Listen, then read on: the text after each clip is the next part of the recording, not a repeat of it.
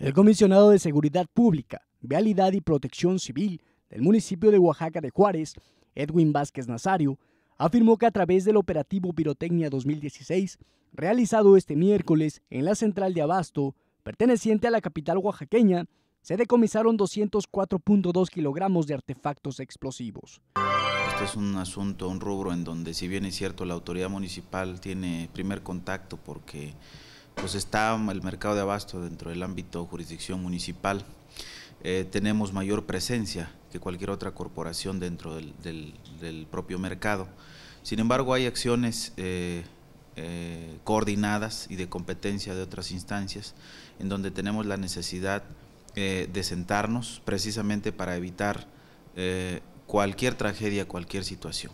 Es uno de varios operativos que vamos a realizar eh, en esta temporada, sobre todo por el tema de, pirotecnia, eh, porque hay que recordar que la propia ah, ley federal de uso de armas de fuego y explosivos pues determina como delito el utilizar pirotecnia dentro de muchos otros rubros eh, si no se tiene el permiso adecuado. Ayer acudimos con la Procuraduría General de la República, la Sedena, la Policía Estatal, la Agencia Estatal de Investigaciones, la Policía Municipal, la Policía Vial Municipal, Protección Civil, bomberos, es alrededor de 150 elementos eh, donde tuvimos una intervención eh, sin mayor incidente.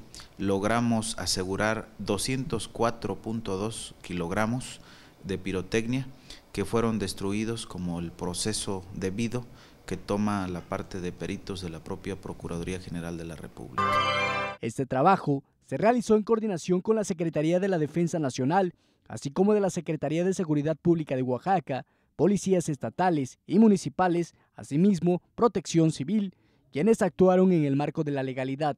Cualquier riesgo que se presente dentro del propio mercado, el tema de pirotecnia es una de tantas variables que tiene el mercado donde eh, recibe alrededor de 120 mil personas de manera diaria y más en esta temporada donde existen eh, diferentes eh, ventas de productos para tema de posadas, Navidad, Año Nuevo.